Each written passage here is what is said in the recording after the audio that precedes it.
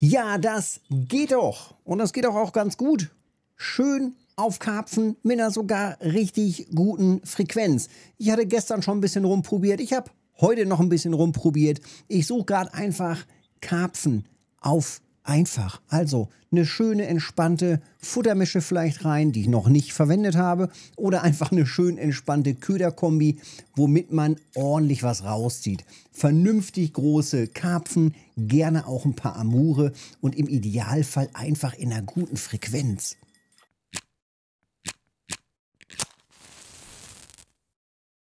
Also, raus mit den Brocken hier. Schön ein nach dem anderen.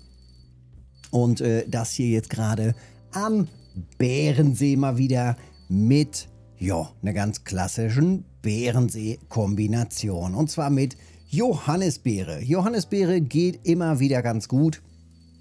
Ähm, zuletzt hatte ich es probiert mit Johannisbeere und Brombeere in Kombination. Auch an der alten Festung zum Beispiel auf 2167. Auch das ist ja ein absoluter Klassiker. War allerdings nicht ganz so erfolgreich wie jetzt gerade hier. Und jetzt hier gerade nach wie vor richtig, richtig gut. Also kann man tatsächlich ganz gut machen. Und einfach mal gucken, was hier so geht. Schön mit Johannes ähm, Pop-Up-Rig. Also ganz simpel Pop-Up-Rigs Montage und dann mit ähm, Maiskorn und mit Boilies. Anfangs noch ein bisschen größere Boilies verwendet und jetzt gerade nochmal runtergegangen auf eine kleinere Größe der Boilies und schon geht die Frequenz hoch. So. Na, spannen wir hier nochmal ein bisschen an. Ja, das sieht auch gut aus. So, jetzt habe ich gerade ein bisschen Luft zum Durchatmen. Also, 18 Brocken sind drin. Ähm, ja, genau. Anfangs ein bisschen rumprobiert, verschiedene Größen, verschiedene Köderkombis auch ein bisschen probiert. Und ähm, ja, ich würde sagen, jetzt auf einmal hier, guck mal hier, in drei Minuten einfach mal sieben Karpfen in Folge, beziehungsweise sieben Fische. Hier hat sich gerade noch einer verirrt. Ähm, ist natürlich mit kleinen, kleinen Boilies natürlich möglich. Also immer die Chance, dass eben auch mal sowas reingeht. Ähm, Größentechnisch ist es jetzt nicht so der Riesenunterschied zwischen den großen 20er Boilies, also Pop-Up 20 oder auch hier Pop-Up 20 zu, naja, diesen hier, Pop-Up 15. Also, von daher sind wir doch da nah beieinander von den Größen her. Ähm, hier sogar noch gerade ein weißer Amur, Pop-Up 15. Also einfach mit den kleineren Boilies reingehen und ähm, dann eben gucken, dass man da vielleicht eine andere Komponente in groß hat. In meinem Fall ist es jetzt gerade der Haken. Also der Haken deutlich größer. Eigentlich war ich auf äh, Amur aus und weniger auf die Karpfen. Aber wenn die halt auch mit reingehen, naja, dann nehme ich sie halt mit. Ne? Also gucken wir mal eben hier rein. Das ist eine Kombination, wie gerade eben schon gesagt, eben auf 15er Pop-Up Boily mit Johannisbeere hier einmal in lila auf dem 3-0er Haken. Und äh, das andere Setup ist mit Johannisbeere in gelb. Pop-Up Mais gibt es in zwei Variationen. Also einmal in lila und einmal in gelb. Ähm, eine Möglichkeit wäre natürlich hier zwei Routen auf Frequenz zu machen mit den kleinen Boilies und die dritte Route einfach in groß, wenn man dann vielleicht noch mal ein bisschen Action haben will und die Chance möglicherweise vielleicht auf eine Trophy oder so, dann einfach ein Setup hier mit Johannes in groß oder sogar in sehr groß kombinieren. Aber jetzt habe ich gerade, wie gesagt, einfach nur schwarze Johannisbeere 15. Also, das reicht auch an für sich. Und wie gesagt, ich wollte einfach nur ein bisschen Frequenz haben und das eben hier mit der schwarzen Johannisbeere dann in Gelb als Maiskorn. Ähm, das Ganze hier zweimal. Einmal die lilane äh, Mais-Variante. Und so läuft es, glaube ich, bisher ganz gut. Also jetzt ähm, 20 Fische. Wie gesagt, der Anfang war ein bisschen, ein bisschen zäh, ein bisschen träge. Und so kann man das machen. Eine Futtermische dazu machen wir natürlich auch gerne mit rein. Hm, wir bauen mal eben eine zusammen. Nehmen wir mal hier eine Trockenmische. Ähm, theoretisch, auch an der Stelle, sage ich ja auch immer wieder gerne, wir sind hier auf einem der wichtigen drei Spots. Eins, zwei, drei. Das hier sind die drei Spots, die immer wieder gut funktionieren. Auf 21 Meter geklippt.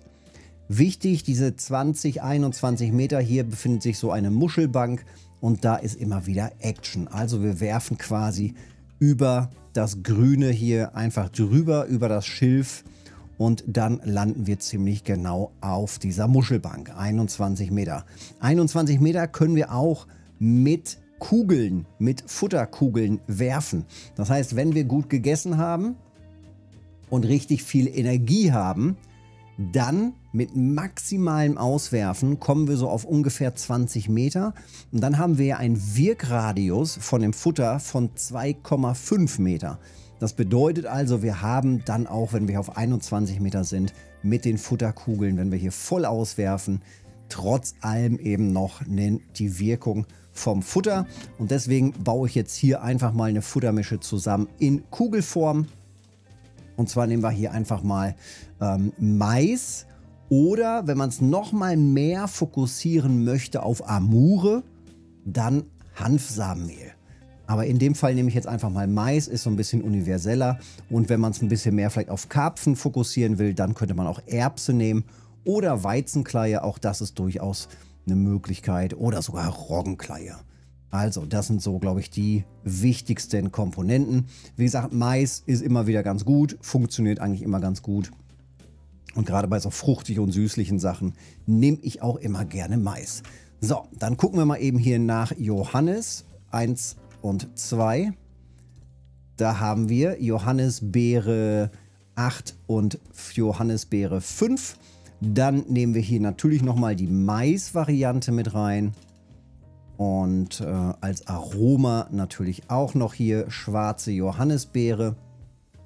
Black Currant müsste das ja sein. Ähm, und dann haben wir noch eine Position frei. Und hier könnten wir jetzt natürlich ein bisschen spielen. Man könnte sowas wie Amino reinmachen.